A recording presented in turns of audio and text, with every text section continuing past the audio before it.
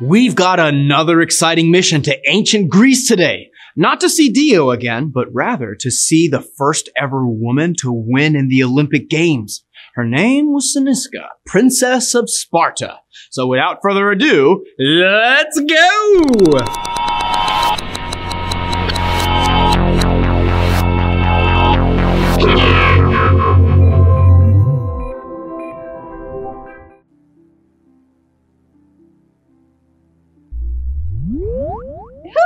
Interrupt my tea? I am so sorry. I- am uh, Special Agent L. I've come from the future to learn about how the great Cynisca won gold at the Olympic Games.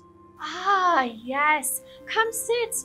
My journey to the great Olympic Games started when I was just a little girl. I loved riding horses. I was the fastest equestrian in my whole town. Ever since I could remember, my dream was to compete in the chariot race at the.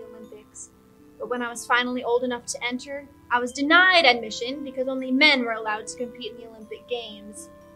What? So you weren't able to compete like you always wanted to? Oh, ye of little faith.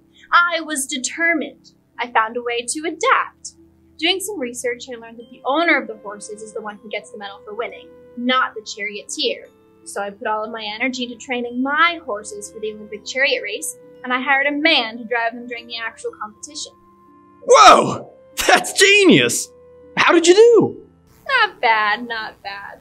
I got gold. I have a gold worthy idea, travelers.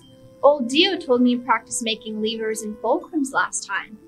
In the honor of all the women who can now participate in the Olympic Games, I challenge you to design some games.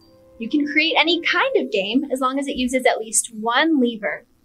When you finish your game, test it out. Challenge yourself.